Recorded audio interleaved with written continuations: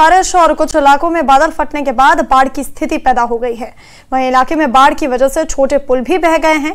स्थानीय लोगों ने मांग की है कि नुकसान का आकलन करने के लिए क्षेत्र में और टीमें भेजी जाएँ। लोगों ने घरों के पास सुरक्षात्मक तटबंध बनाने की मांग की है।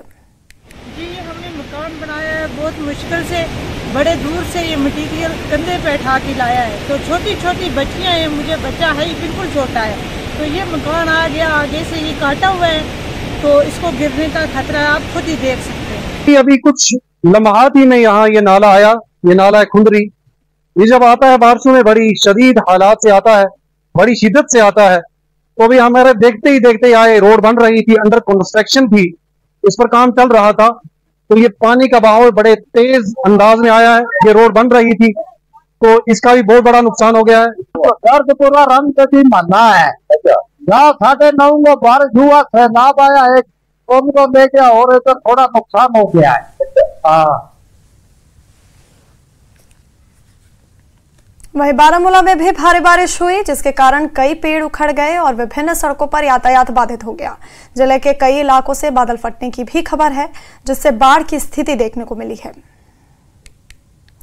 और कुलगाम में बिजली गिरने से एक युवक की मौत हो गई, जबकि इस हादसे में एक अन्य घायल हो गया है, जिसे इलाज के लिए अस्पताल में भर्ती कराया गया है। मृतक युवक की पहचान मुख्तार अहमद चौहान, पुत्र मोहम्मद हुसैन चौहान के रूप में हुई है, जबकि घायल रफाकत अहमद चौहान को अस्पताल में भर्ती कराया गया। बिजली गिरने से एक बच्चे की जो पंद्रह साल का है, उसकी बदकिस्मती से मौत हुई और एक बच्चा जख्मी हुआ और उसमें कुछ मवेशी, दो मवेशी भी इसमें, उनकी भी, वो भी मारे गए। तो उसी वक्त तुरंत डीसी साहब की डायरेक्शन पे हमारी जो एस की टीम और हमारे जो कंसर्न मैजिस्ट्रेट है, वो मौके पर पहुँच गए हैं। तो इनशाला जो भी डिस्ट्रिक्ट एडमिनिस्ट्रेशन की तरफ़ से हदायत है कि जो भी उनको जो रिलीफ है इनशाला तुरंत उनको रिलीफ दिया जाएगा और जो भी उनको मदद की ज़रूरत होगी तो डीसी साहब ने इसमें पूरी हदायत दी है कि पूरी मदद उनको की जाएगी।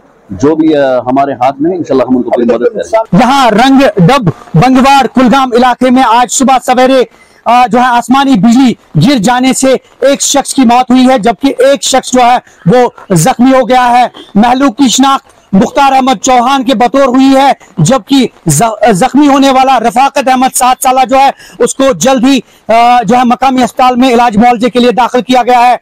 जिला इंतजामिया और पुलिस जो है मौके वारदात पे पहुँच गई है और वहाँ पे रेस्क्यू ऑपरेशन जो है वो जारी है। इस दौरान जिला कुलगाम में सुबह सवेरे से ही मुसलसल बारिशों का सिलसिला जो है वो जारी है और ये सिलसिला अभी भी बदस्तूर जारी है और ऐसे में पेशन गोई की गई है कि आज दिन भर बारिशों का इम्कान है और ऐसे में जो ऊपरी पहाड़ी इलाकों में रिहाइश पजीर लोग हैं, उनके लिए भी एडवाइजरी जो है वो जिला इंतजामिया ने जारी की है। Johar news eighteen network Nurabad Kulgam. और वक्त हो गया एक छोटे से ब्रेक का